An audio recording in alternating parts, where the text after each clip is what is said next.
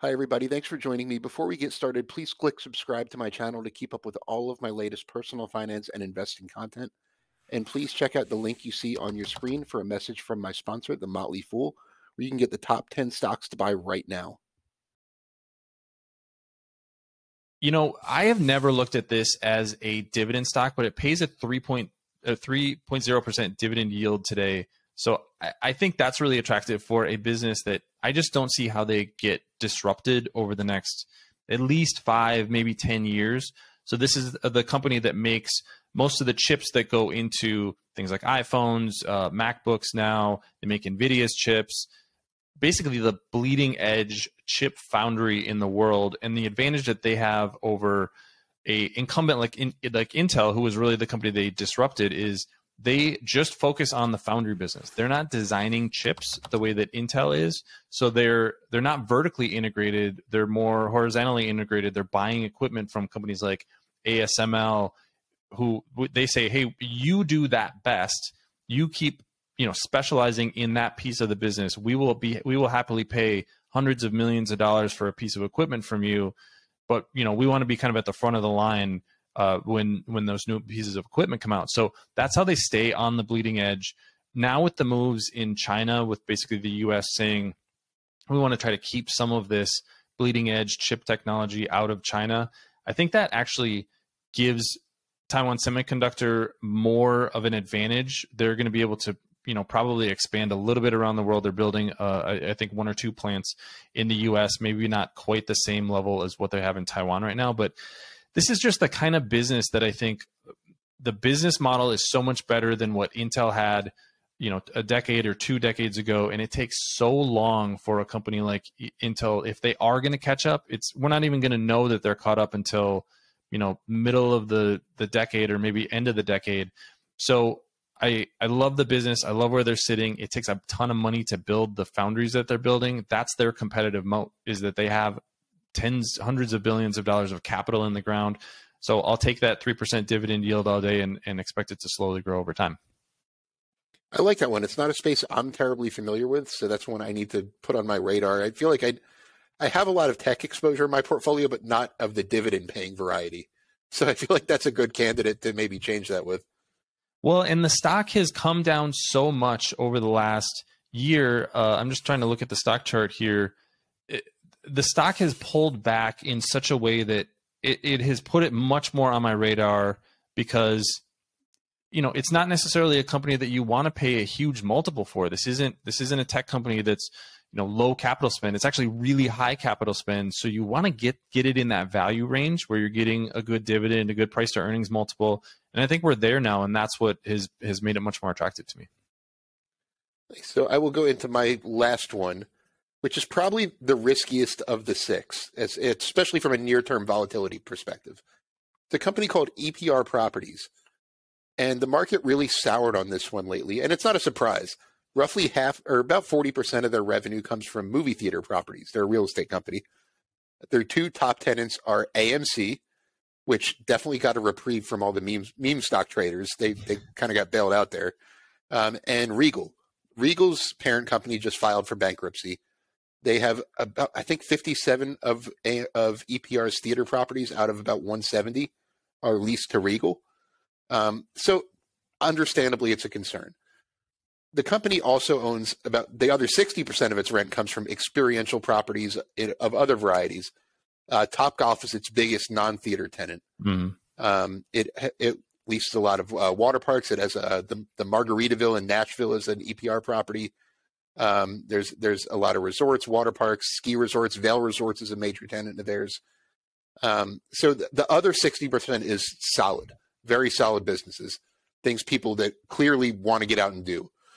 The theater part, the company kind of put this, you know, gave me a lot of, you know, relief in its earnings report when it said that Regal has paid in October and November for all 57 of its properties. They paid rent.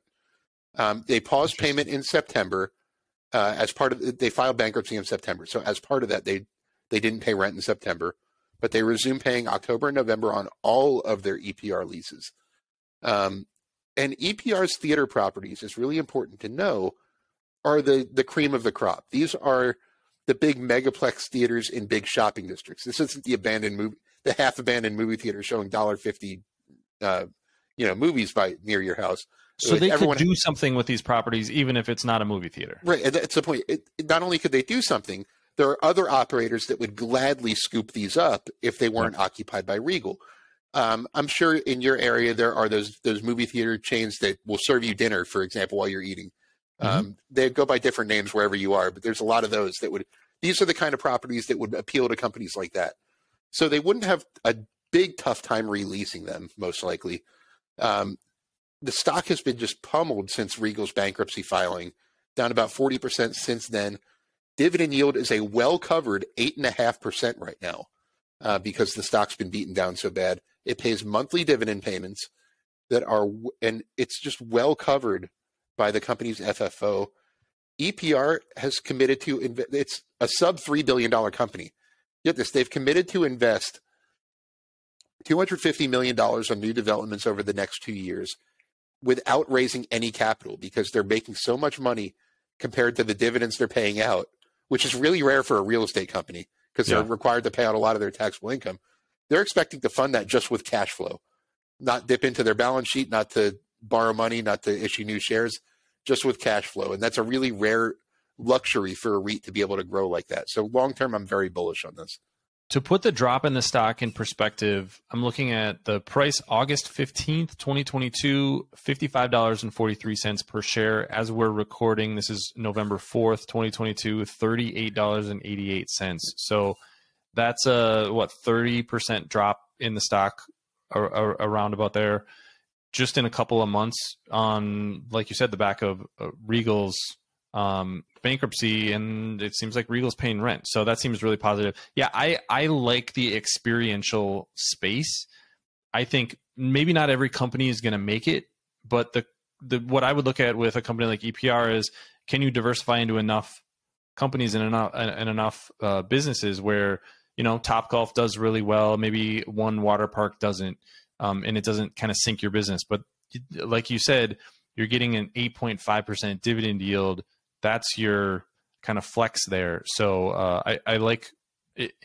Sometimes the time to buy a stock is when the market hates it the most, and so this seems like a, a company like that. Yep, I would definitely agree, and it's it's one that I like long term. Um, even if the the Regal situation doesn't get completely resolved, I still like this stock from a long term standpoint. They're they're planning on gradually reducing their theater exposure over time. So all right, let's go through our six top dividend stocks to buy today. I started with MGM Resorts. I had Apple. Both of those are really low dividend yields, but I think over time these are going to be great dividend growth stocks. And then my final one was Taiwan Semiconductor with a yield of 3%. Matt, what were the three that you had?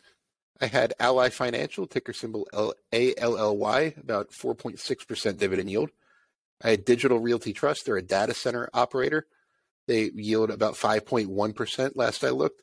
And EPR Properties is kind of the most speculative, uh, speculative I'd say out of the six, but not by you know not by normal speculative standards. And they pay about eight and a half percent. And Matt, where can we find your work on YouTube and Twitter? I am Matt Frankel CFP on both YouTube and Twitter.